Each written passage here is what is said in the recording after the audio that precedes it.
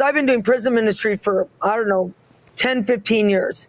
And when Dog and Francie came alongside of me, it just exploded to a new level.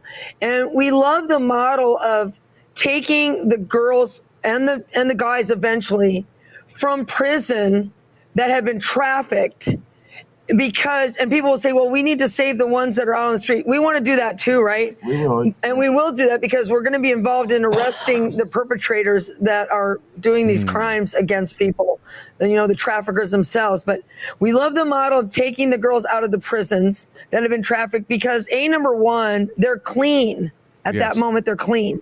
So we're not battling with just the thing of trying to get them clean and having them want to leave the house to go get a fix. Because they're already clean for a while. Right, they've been clean for a while. So we have way more our, our percentages of having them stay are so more are so much higher when we take them out of prison. And number 2, my books are some of the most read and popular and requested books in the prison system. We're in 4,000 wow. prisons around the United States and the world. So people have read my books about soul healing, about your expected end, about all these things that we, you know, that we give them in our studies and the books that we send into into these prisons all over the world and um, and you, the U.S.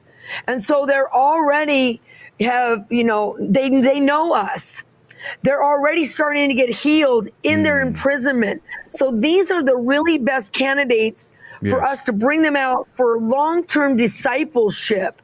These are the people, these are the girls and eventually the guys that are going to be success stories. I mean, they're the ones that we believe we're going to hit a home run. They're going to get out and they're going to stay in this long term homes that we're building and developing. We already have the curriculum and everything for these homes. And they're going to be the ones that are going to end up leading the end time army. They're going to be the ones that go back out on Come the on. street and Yes. rescue more people who have been trafficked. They're the ones that are going to go back into prison and, you know, get people healed and saved and delivered. They're the ones that are going to be starting churches everywhere. They're the ones that are going to be, you know, kingdom soldiers in the end times because of this process God has taken them through. So we're really excited about the model of, you know, getting people from prison that have been trafficked